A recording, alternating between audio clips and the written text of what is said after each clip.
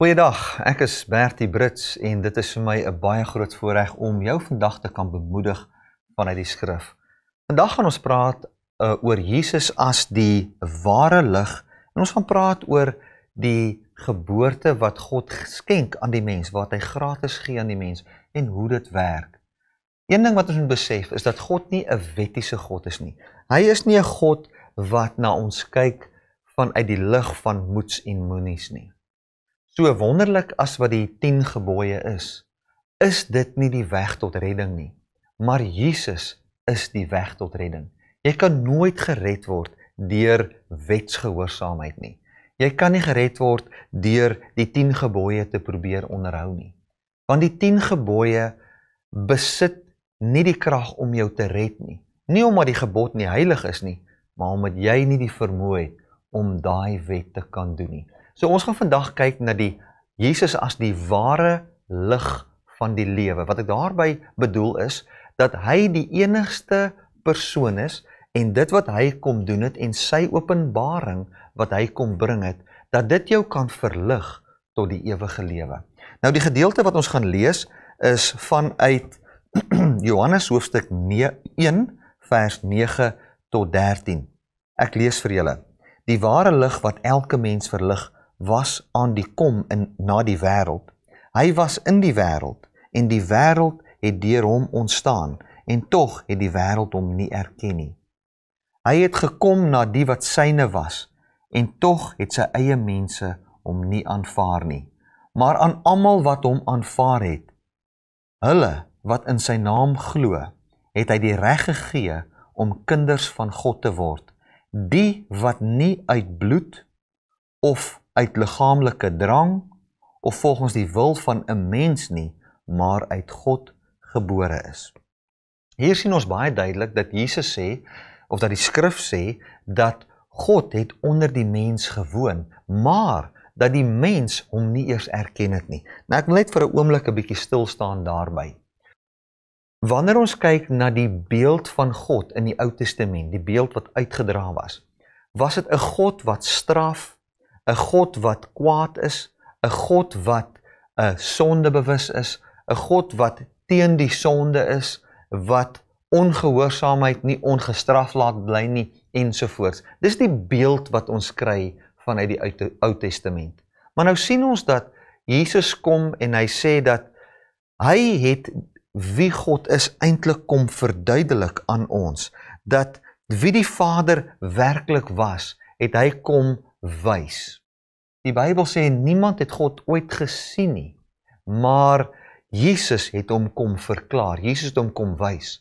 En toe Jesus kom wys wie God werklik is, toe is dit wie God is en die verwronge beeld wat mense gehad het deur die Ou Testament verkeerd te verstaan, so ver uitmekaar of so ver van mekaar verwyder dat hulle God nie eers kon sien nie. Baie keer dan sê ons as God net aan my verskyn, dan sal ek kan glo. Maar toe God kom en hy verskyn aan die mens, toe hy aarde toe kom, wat het hy 'n 30-jarige verskyning gehad aan die mens waarin hy die volheid van God kom wys het en die mens kon dit nie raak sien nie. Hulle kon God nie sien nie. God kom en hy sê ek bly hier onder julle. Dis wie ek is. Ek is God. En hulle kan nie glo dat dit God is nie, want God is toe nie so kwaai soos die mens gedink het nie. God is nie toe toe nie 'n wreedaard nie. God is toe eintlik kwaai met die wat kwaai is teenoor mense. God is toe eintlik as dit kom by die fariseërs en die sadiseërs en die wetsgeleerdes van daai tyd, toe is hy eintlik meer teen hulle as wat hy was teen die persoon wat in oorspel was en die dronklappe en die uh tollenaars. Was baie meer vir die sondaar net onder die sondaars kom goeie dade doen. Waarin die wetsgeleerde gesê het nee, jy moet goed doen dan sal God vir jou goed wees. Kom God en 'n vrou wat se seun dood is wat nie eers enige goeie dade gedoen het of niks nie kom en hy raak in die kus en wek haar seun op. 'n Vrou wat in die daad van oorspel betrap was sonder dat sy haar sonde bely, kom hy en hy vergewe haar sonde op so 'n kragtige manier dat sy eintlik ook dan nou verlos is van sonde. Hy kom en hy gaan tuis by Saggeus. Hy laat toe dat die prostituie aan hom vat. Dink vir jouself vir 'n oomblik, as jy jou pastoor sien en hy sit by 'n sondaar se huis en daar's 'n prostituut daar en sy's besig daar by sy voete. Wat sal jy dink? Sal jy dink ek sien God? Sal jy dink maar dit is God? Nee. Jy sal dink dis 'n sondaar. Jy sal dink dis 'n sleg. Maar dit was die beeld van God. Nou sê die skrif dat hierdie lig wat God kom skyn het op wie hy werklik is, hulle wat in hierdie Jesus wat 'n vriend van sondaars is, vertrou, hulle sal 'n lewe hê wat vanuit God gebore is.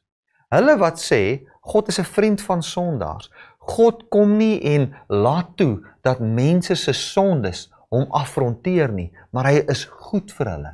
Dink byvoorbeeld aan die geval waar Jesus water in wyn verander het. Hy kom by 'n bruilof waar die mense al klaar goed gedrink is. En daar maak hy nog wyn. En die wyn, die persoon wat 'n wynkenner is sê, dis 'n goeie wyn. Gewoonlik gee ons eers die goeie wyn, hierdie wyn, en wanneer die ouens dan dronk is van hierdie goeie wyn, dan gee ons die slegte wyn, maar u kom en gee die slegte die goeie wyn aan die einde en die slegte wyn was eerste. En dit was toe 'n beeld van presies waarvan ek nou praat. Die eerste was die slegte. Met ander woorde, die wettiese stelsel waarin daar 'n verwronge beeld van God was. Maar God kom en hy gee eers die wet en dan kom hy en hy vervul die wet en ons sien die goeie wyn wie Christus is aan die einde.